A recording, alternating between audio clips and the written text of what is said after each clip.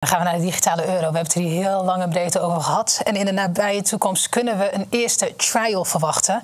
En volgens ons kabinet was het jaren geleden de nieuwe innovatie binnen ons geldsysteem. Het is een additionele optie eh, die de consument erbij krijgt en die evident weer uh, gemak biedt. Uh, in, in, in de transacties en, en, en in het totale palet aan mogelijkheden. Of het uiteindelijk echt gaat werken. En of de consument uiteindelijk gaat zeggen: ja, maar daar ga ik nou heel veel gebruik van maken. Uh, ja, dat, dat, dat kunnen we niet voorzien. er waren ook allerlei mensen die hebben ooit de sms en de app ten dode opgeschreven. Die dachten dat gaat nooit werken. Want waarom bel je iemand niet gewoon? Nou ja, we weten allemaal hoe ons leven er nu uitziet. Dus ik, ik, ik ben niet degene die durft te voorspellen dat het een succes wordt. Maar ik vind het interessant genoeg. Um, uh, gegeven de mogelijkheden die het lijkt te bieden. om het met elkaar te willen exploreren en er heel serieus naar te kijken. Ja, Wopke Hoekstra was destijds minister van Financiën. En hij sprak er groots over, de digitale euro. En hij vergeleek het zelfs met sms en WhatsApp. Nou, we weten allemaal wat dat voor ons nu betekent. Kan je ons uh, nog één keer vertellen, Bert, wat de voordelen waren uh, zoals het aan ons verkocht is? Destijds. Ja, nou, dat wisten we toen helemaal niet.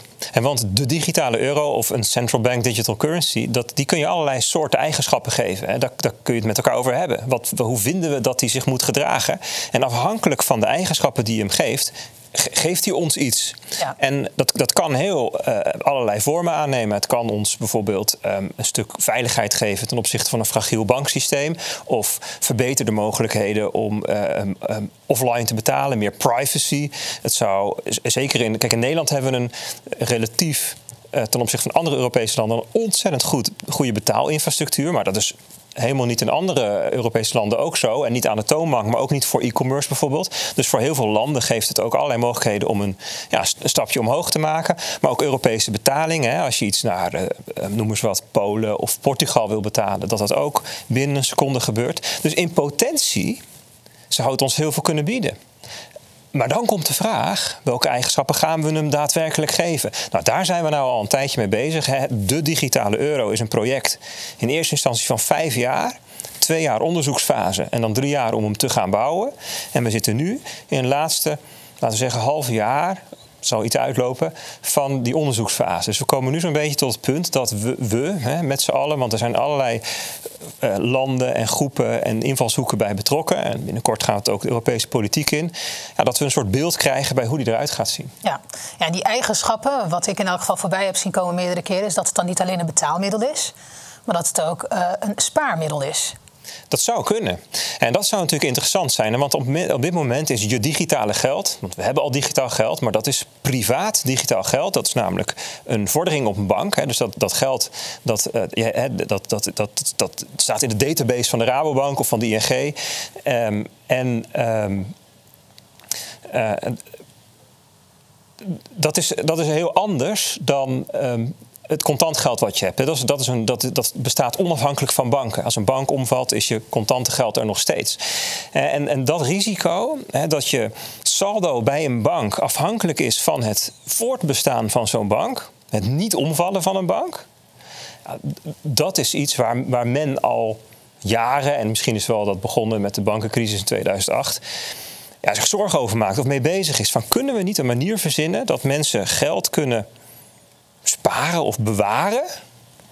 Zonder dat dat blootgesteld is aan het risico dat, er, dat een bank omvalt. Ja. en en um, dat zou, als je, dat is een keuze, maar dat zou de digitale euro kunnen brengen. Ja. ja, in de afgelopen zeven jaren is er veel over geschreven, veel over gedocumenteerd. Jij hebt ook een aantal documenten uh, nou ja, geanalyseerd. We hebben het over moties, maar ook uh, documenten van overheidsorganen. En daarin zien we dat, dat er wel steeds opgemerkt wordt of omschreven wordt dat het als spaarmiddel ingezet kan worden, toch? Ja. Ja, klopt. Zeker. De Tweede Kamer heeft hier, heeft hier zelfs bovenop gezeten. Maar um, op dit moment is dat spaarelement uh, wordt niet meegenomen.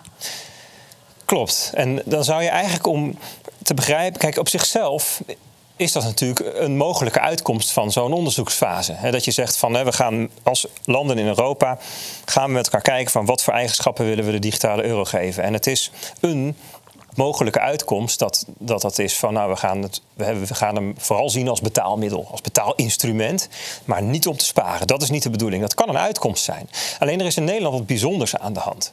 We hebben namelijk dat project, de digitale euro, gebruikt, een jaar of drie, twee, drie geleden, als antwoord op een vraag, daar, waar al die documenten over gaan, vanuit de Tweede Kamer aan de minister van zou jij voor ons, voor ons Nederlanders, een manier willen regelen dat we veilig kunnen sparen. En daarvan heeft de minister gezegd: is goed, we gaan dat, we gaan dat eens doen met die digitale euro. En nu blijkt, althans blijkt, dat, hè, dat, moeten we nog zien hoe het precies uitpakt, maar um, uh, iemand van de Nederlandse bank, die, die, die sprak ik pas uh, bij de cryptocast van BNR. En zei: nee, spaarmiddel, dat is helemaal niet de bedoeling.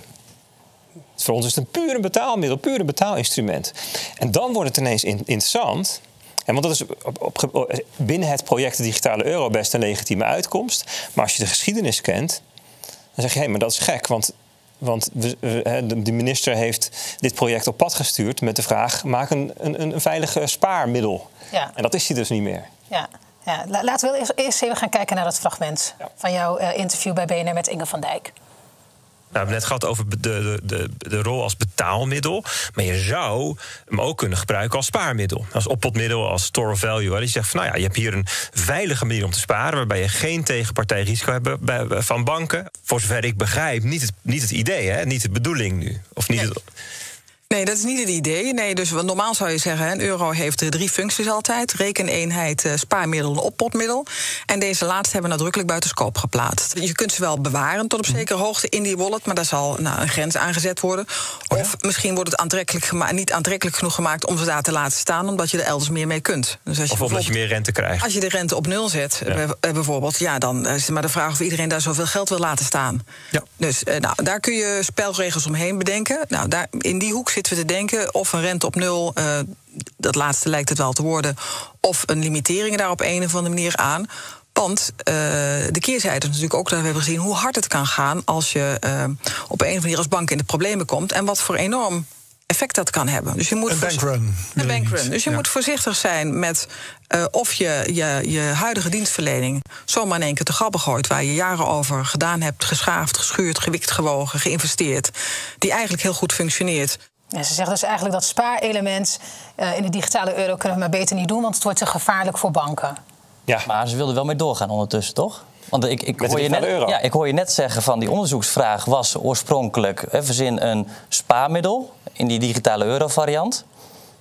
Dat wordt hem nu niet? Maar het, is, het is iets anders. Dus die onderzoeksvraag, dat was een Nederlands vraagstuk. Dus in Nederland hebben we het, um, en de Stichting Ons Geld is daarmee bezig geweest. Daarnaast de Wetenschappelijke Raad voor het Regeringsbeleid gevraagd: doe eens daar eens een onderzoek naar. Die kwam met aanbevelingen. De Nederlandse Bank vond wat. Het, speelde zich allemaal af voordat de digitale euro-project begonnen was. Ja. En toen zei minister Hoekstra. Huh, digitale euro. Dat is misschien een mooie manier om dit vorm te geven. Een spaarmiddel. Als, als spaarmiddel. Hè? Betaalmiddel en spaarmiddel. En alleen binnen Europa heeft, heeft dit gesprek natuurlijk niet op deze manier plaatsgevonden. Dus dat vanuit Europa uh, zeg maar onze Nederlandse Stichting Ons Geld discussie niet aan de orde is, dat snap ik op zichzelf wel. En dan komt het onderzoek terug en de Kamer die gaat er dan vanuit van het is een combinatie van sparen en betalen. Ja, dat was, dat, dat, dat, laat ik zo zeggen, er lag heel duidelijk, de, minister Hoekstra die kwam op een gegeven moment met een onderzoek van de Nederlandse Bank terug naar de Tweede Kamer. Die zei, waarin stond, weet je, dit, is, dit geeft invulling aan het advies van de, van de WRR, namelijk een instrument voor veilig sparen en betalen. En toen heeft de minister gezegd: joh, laten we dat eens eventjes uh, bij, hè, in de digitale euro zoeken. Ja. dus er is heel veel heen en weer gegaan. Verschillende partijen hebben er iets over te zeggen gehad. We hebben, je hebt ook een tijdlijn gemaakt. Laten we daar heel even naar kijken. Misschien is dat uh, makkelijker uitleggen.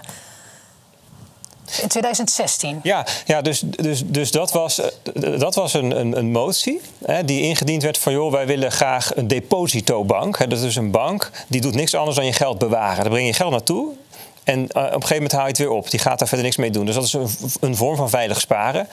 Nou, toen, toen, toen is de WRR gevra gevraagd om um, daar onderzoek naar te doen. In 2019 kwam die met, uh, met de aanbevelings joh, het lijkt ons een goed idee om een publiek alternatief te verzinnen voor betalen en sparen. Ja, en de WRR is de Wetenschappelijke Raad voor het Regeringsbeleid. Ja, en een publiek alternatief, publiek betekent vanuit de overheid en niet vanuit private partijen zoals banken. Uh Ehm, in 2020 kwam eh, DNB, de Nederlandse bank, hè, onze centrale bank, met een rapport waarin ze eigenlijk dat advies van de WRR oppakken en zeggen: ja, daar, daar zou een CBDC een uitstekende manier voor kunnen zijn om dat betalen en sparen invulling te geven.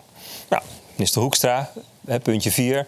We gaan geen depositobank doen, we gaan de CBDC gebruiken voor betalen en sparen. Nou, en nu zit ik in 2023 met iemand van DNB en die zegt: sparen? Slachter, doe niet zo gek. Tuurlijk gaan we niet sparen, alleen voor betalen. Terwijl die in 2020 daar zelf over begonnen.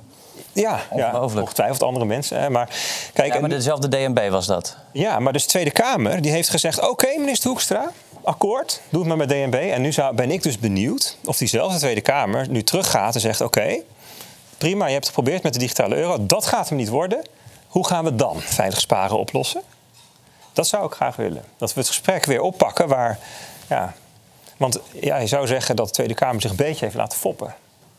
Nou, dat kun je wel stellen als je deze tijdlijn bekijkt. Eh, het wijkt compleet af van de onderzoeksvragen. En ze gaan wel door met een, een, middel waar eigenlijk ook niemand om heeft gevraagd. Want dat zeggen ze ook wel eens, toch? Die CBDC of die Digital Euro. is eigenlijk een oplossing voor een probleem dat er niet is. Ja, ja, ja, een probleem op zoek naar een oplossing. Hè? Ja. Nou, zeker in Nederland uh, geldt dat wel, hè, omdat wij eigenlijk een heel prettig werkend eh, eh, ja, maar betaal ecosysteem hebben. Hè? We hebben digita- eh, Apple Pay, contactloos, dat is allemaal fijn. Maar als ik op straat ga vragen van wil je een digitale euro, dan zeggen de meeste mensen waarschijnlijk van hè, waarvoor heb ik dat nodig dan? Ja, dan kun je digitaal betalen. Ja, dat doe ik al. Ja, en het brengt misschien wel risico's met zich mee. Hè? We hebben natuurlijk wel eens gehad over de programmeerbaarheid, over privacy, surveillance vraagstukken. Dus ja, weet je, als het wel nadelen heeft, geen voordelen, laten we hem dan niet doen. Dat is dan nog snel de reactie. Nou, en dan komt er dus nog bij dat een van de potentieel interessante voordelen dus nu ook afgestreept kan worden. Ja. hoe zit dat juridisch eigenlijk? Want er kwam dus een voorstel uh, op basis van bepaalde voorwaarden. En na jaren later, dan uh, is eigenlijk het, ja, een van de, een element wat heel voordelig is voor burgers, is er dan ineens uitgehaald. Daar kan ik niet dus zo dat is niet meer onder dezelfde voorwaarden, maar het gaat wel door. Ja, precies. Maar goed, het wordt natuurlijk heel erg natuurlijk ook vanuit uh, beleidstu in beleidsstukken natuurlijk ontwikkeld. Hè. Uh, de Nederlandse bank is daarmee bezig, maar niet alleen de Nederlandse bank, ook de Europese Centrale Bank is daarmee bezig. IMF heeft beleidsstukken of whitepapers ge gedaan of gezet op haar, op haar website. En daarin vindt vooral, denk ik, de ontwikkeling plaats van hoe, wat de mogelijkheden zijn. Er zijn allemaal CBDC-soorten ook, zeg maar. Dat kun je bij de IMF, bij het IMF kun je dat lezen, maar ook ongetwijfeld bij andere banken. Ja, bij de BIS dus ook, de ja, papers. Ja, precies. Ja. Van daaruit wordt dat natuurlijk in de markt gezet. Dus uh, ja, bij mijn weten is er voorlopig nog geen wetgeving die dat precies zo regelt. Nee, die gaat, in principe is de bedoeling dat het deze zomer wordt gemaakt. Dat er een voorstel komt dat het Europese parlement ingaat. En dat je dan het hele proces van Europese uh, wetgeving doorgaat. Dat duurt natuurlijk ook een tijd. En daarin moet uiteindelijk een juridisch kader komen. waarbinnen het ECB dan de opdracht krijgt om te gaan bouwen. En daarom is het ook goed dat we nu dit gesprek met elkaar voeren. Want nu kunnen we er als burgers via allerlei kanalen nog invloed op uitoefenen. En als men tot de conclusie komt, ja, we vinden dat veilig sparen niet nodig. Joh, je, je enige optie die je hebt is naast geld onder je matras om het bij een bank neer te zetten. Ja, dan kunnen wij terug als Nederland om dan met elkaar te heroverwegen, willen we dan misschien iets anders voor veilig sparen. En een van de discussies die nu loopt is dat we zeggen van nou ja, de Volksbank is inmiddels een staatsbank of nog steeds. Misschien moeten we dat wel zo houden en daar deze functie in onderbrengen. Dat zou een alternatief kunnen zijn. Ja. En die angst van de DNB, is dat een terechte angst? Dus dat, er een, dus dat als, als er een spaarmiddel is, aantrekkelijke spaarmiddel voor burgers, dat, dat, dat banken dan misschien omvallen? Ja, en ook nog veel meer dan zoveel jaar geleden. Want, en dat hebben we ook gezien met het omvallen van Silicon Valley Bank in de Verenigde Staten op uh, eh, 15 eh, maart of omstreeks half maart. Dat, uh, en ook bij Credit Suisse trouwens, dat deposito's, hè, dus jouw mensen die um, geld bij de bank neerzetten, dat die veel bewegelijker zijn geworden. Want je hebt tegenwoordig internetbankieren. Ik heb nog een anekdote uit 2008, 2009. Toen waren er um, bij de bankruns die plaatsvonden, kregen de mensen achter de balie de opdracht om het geld twee keer te tellen zodat die bankrun langzamer zou gaan. Ah, Kijk, dat, dat is op dit moment natuurlijk niet meer aan de orde. Jij doet bliep een, een overboekings en het is weg. dus geld kan met een ongelooflijk tempo banken verlaten. Uh, en, en zorgen en um, onrust kan zich ook met een ongelooflijk tempo verspreiden vanwege sociale media. Dus, dus geld is bewegelijker, zorgen verspreiden zich sneller. Dus ja, um, digitale bankruns zijn daadwerkelijk een vraagstuk. En als jij als burger een alternatief hebt, dan is het natuurlijk, um, ja, als er ergens onrust is, dan gaat iedereen in één keer naar die veilige spaarmiddel. Ja, dat, dat, dat, dat kan niet. Want het, zeg maar, het, het businessmodel van een bank bestaat bij de gratie van het feit dat spaargeld niet veilig is. Dat is hoe het werkt, dat is hoe een bank werkt. Ja. Dus uh, ja, het klopt. Um, ik denk dat ze terecht bang zijn. Ja. Oké, en tenslotte, als er geen spaarelement meer in zit, zijn er dan nog wel voordelen voor burgers om, om zo'n CBDC in gebruik te nemen? Nou, dat hangt dus af van hoe we hem verder vormgeven. En daar had ik het in het gesprek uh, met DNB ook over. En ze zeggen, ja, wij willen ons als Nederland en Duitsland bijvoorbeeld ook hard maken voor um, dat hij voor offline gebruik uh, uh, um, geschikt is. dus dat je gewoon peer-to-peer, dat ik jou een betaling kan doen, net als met contant geld. Nou, dat kan natuurlijk niet met de Rabobank. Hè. Dus dat hij ook werkt als je internetverbinding het niet doet. Dat hij um, veel privacy biedt. Dat er helemaal niemand met bepaalde bedragen kan meekijken. Dat kan bij banken natuurlijk wel. Um, hè, dus dat, dat, dat, dat je een, een Europees breed real-time betaalnetwerk hebt. Dus dat zouden in theorie zouden dat voordelen kunnen worden. Dat we zeggen van nou, hè, dat kan een mooi, is een mooi alternatief naast het bestaande girale geldsysteem. Ja. Maar dat moeten we nog maar zien. Dat moet, ja, precies, dat moeten we nog zien. Ja. Goed.